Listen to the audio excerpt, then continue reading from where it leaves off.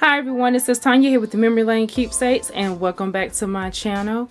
This is the House Mouse Collab 2019 with the Crafty Bean. This is the first collab for the month of January for 2019 and I'm so excited that you guys have chose to click on this video to see how I'm going to present the house mouse for the year. So I'm really excited to share my house mouse project with you guys. As you know, the house mouse collab is normally hosted by Gracie21. She's turned it over to Crafty Bean. You can go back to the past videos and hear more about that in Gracie's 21 video as well as Miss Tina which is Crafty Bean. So what I'm going to do is share some of the things that I use to create my project. Um, as you know for the house mouse we do not have any themes but I work better in themes so I'm going to share with you the projects that I um, some of the product that I use to create my project today. So one of the things um, that I really wanted to do for my first inspiration um, creation was I was inspired the fact that it was the new year. I don't make a lot of New Year's card. I've only made one in the past and this would be my second one, but my first one for House Mouse. So I chose to do that. So some of the things that I used to create my project, since I didn't have certain House Mouse um, product or different stamps that kind of showed you that it was a um, New Year's card, um, I basically created my own. I'm going to show you and tell you how I did that. Alright, so the first thing that I use, I started off with my different card bases, of course. So um, I love my Distress Oxide, so I gravitated towards those to create this project today. So I used my black soot. And then I also use my Lucky Clover. And I use my faded jeans. Peacock feathers.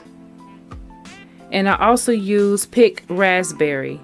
Now I took a lot of time in blending so that's how I was able to create my background. So I was really excited about how um, everything came together. And then I also chose to use this rectangle die that I have that is stitched. It's a double stitch on here. And this came from Ally. And then I also, this is the house mouse that I um, stamp that I chose to use. This one right here is called the Jean Bean, um, Jean Bird actually um, stamp and it has the house mouse as you see on there and it has this bird on top of the jelly beans. So you see this image right here it says friend and mud pie on there. And that was purchased from Tuesday morning. I also use this stamp right here which is a Atlanta stamp and it's by Little Wee Ones rubber stamp. This stamp right here I purchased this from the heirloom stamp show a few years ago. So I got this and I also use my Hero Arts stamp set that I purchased from Joann's. And this is a perfect stamp set for you new crafters who are just starting out because it has all of the sentiments or different holidays that are listed on here that you will pretty much come across. Um, for example, it says celebrate every day. It even has a St. Patrick's Day, Happy Easter, Halloween, Mother's Day, Christmas, Thanksgiving um, just to name a few. So basically it covers pretty much all your main holidays. So this is a great stamp set to have in your collection if you don't already own something like this. And then last but not least, I also use this stamp set right here. Um, this is by Cloud9 Design. And this stamp set right here, I actually purchased this at a garage sale.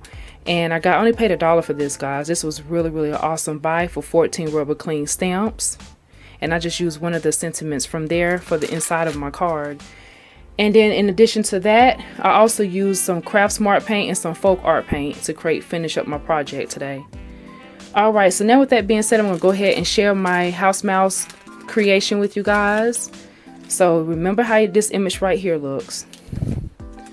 Okay, so what I've done is this is my design.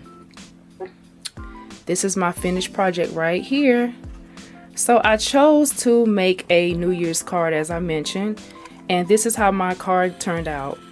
So if you're looking at the card right here you will see that I chose to make a Atlanta skyline with the fireworks at the top.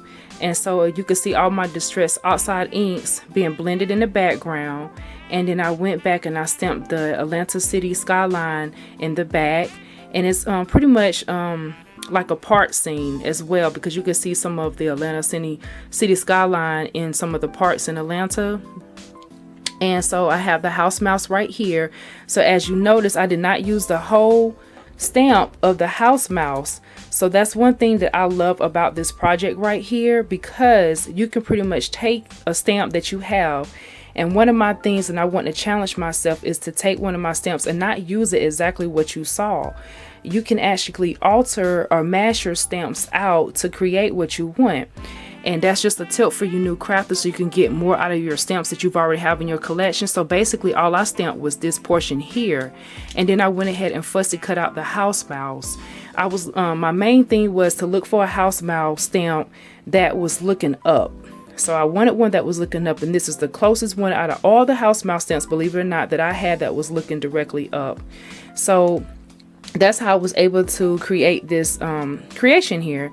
And for my fireworks i thought i had an embossing folder and come to find out i did not have one that had fireworks on it.